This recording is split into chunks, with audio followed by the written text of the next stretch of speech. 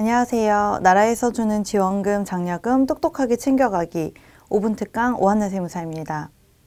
청년들에게 양질의 일자리를 지원해주기 위해서 만들어주기 위해서 지원해주는 청년 추가고용 장려금 사업주에게 추가 고용의 유인으로서 작용하기 위해서는 이 장려금을 얼마나 지급을 해줘야 될까요? 오늘은 그 지원 수준, 지원 내용에 대해서 한번 살펴보도록 하겠습니다. 장려금은 일단 그 인원 지원 한도가 있습니다. 기업당 90명까지 지원을 제한해 두고 있고요. 어, 지원 수준은 연 900만 원, 기본적으로 900만 원이고요. 3년 동안 지급을 하게 되어 있습니다. 우리 2018년 3월 15일 청년 일자리 대책 전후로 금액이 약간 나뉘게 되는데요. 3월 10일 15일 이후에 신규 채용자는 900만 원이고요. 그 이전에 신규 채용된 분들은 667만 원 정도 기존대로 지급을 받게 되십니다. 우리 그 고용보험 피보험자 수를 기준으로 기업 규모라고 표현을 하죠. 기업 규모에 따라서 신규로 채용해야 하는 인원 기준이 좀 달랐는데요.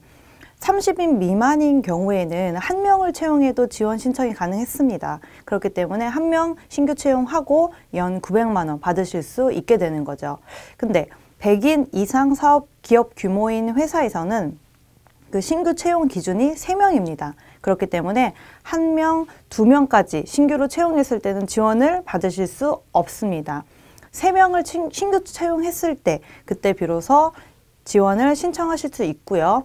세 명을 신청했을 때 연 900만 원, 2,700만 원 받으실 수 있게 되는 것입니다. 자, 인원 기준이 한도가 90명이라고 말씀드렸는데요. 90명을 신규 채용하고 받는 장려금 얼마인지 혹시 계산해 보셨어요? 8억이 넘습니다. 굉장한 금액이죠. 이 정도로 큰 지원을 하고 있는 것입니다. 자, 지역 특성상 고용 문제 해결이 좀 시급한 지역들이 있습니다. 그런 지역으로 고용 위기 지역으로 지정된 지역들은 연 900만 원이 아니라 연 1,400만 원 지원을 받으실 수 있습니다. 이 경우에도 마찬가지로 3월 15일 이전에 신규 채용자들에 대해서는 667만 원 정도 지원을 받으실 수 있습니다. 장려금의 지급 주기 기간에 대해서 알아보겠습니다. 우리 지원 대상이 되는 청년을 고용했을 때 그 이후로 3년 동안 지급을 받으실 수 있는데요. 연 900만 원 또는 그 위기 지역 같은 경우에는 1,400만 원이었죠. 그 금액을 일시에 지급하는 것은 아닙니다. 그 금액을 매월 주기로 나누어서 지급을 받게 되는데요. 900만 원인 경우에 월 75만 원씩 지급을 받게 되는 것입니다.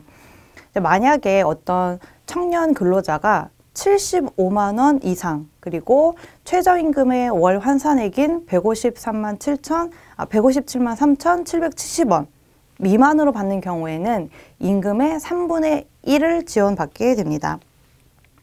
만약에 지원 신청일이 어떤 달의 중간이었던 경우 중간인 경우에는 그 일수를 일할 계산해서 지급을 받게 되십니다. 자, 오늘은 청년 추가 고용 장려금 그 지원 내용에 대해서 알아봤습니다. 감사합니다. 5분 특강 오한나 세무사였습니다.